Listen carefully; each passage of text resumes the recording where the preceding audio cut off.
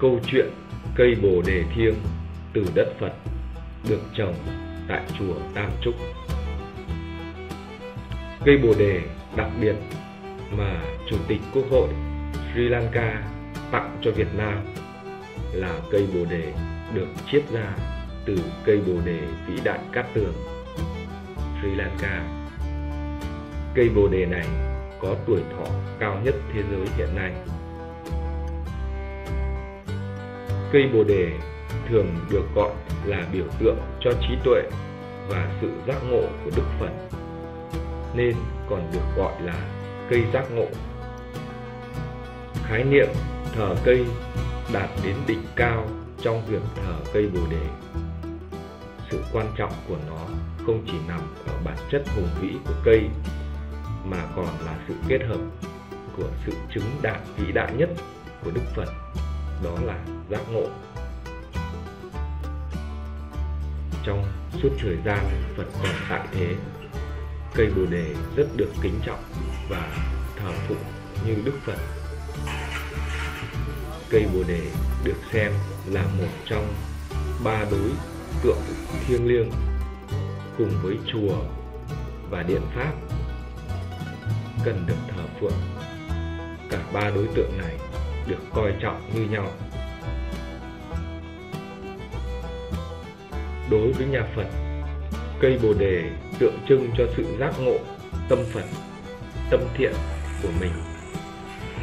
Chính vì thế, đối với các nước Phật giáo Nam truyền hay Phật giáo Nguyên thủy, cây Bồ đề được coi trọng như Đức Phật khi sang các nước Phật giáo, cây bồ đề, tượng Phật và bảo tháp có giá trị như nhau.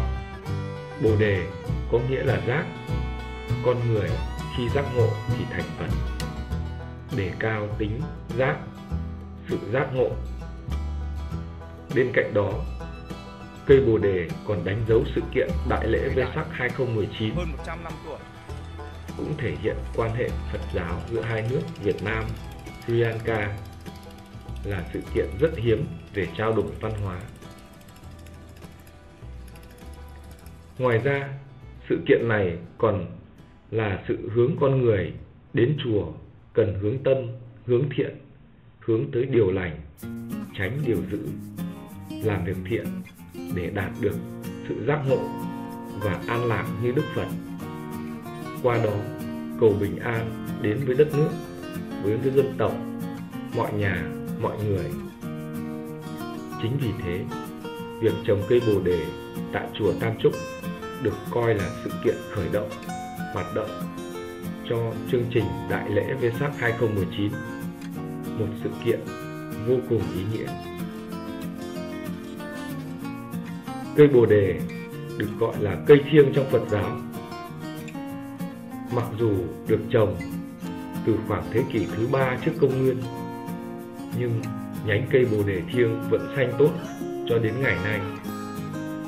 Vì vậy, cây bồ đề được tuyên bố trong lịch sử cây cổ nhất trên thế giới chính là cây đã được trồng tại Sri Lanka với tuổi thọ gần 2.300 năm tuổi.